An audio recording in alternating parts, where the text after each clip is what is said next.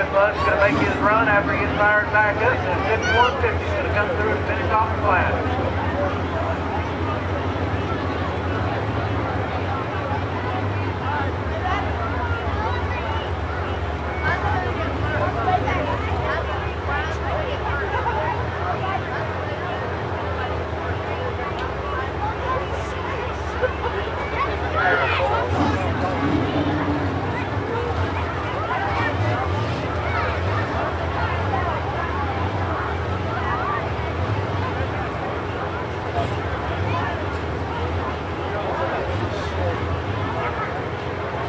For the frogs.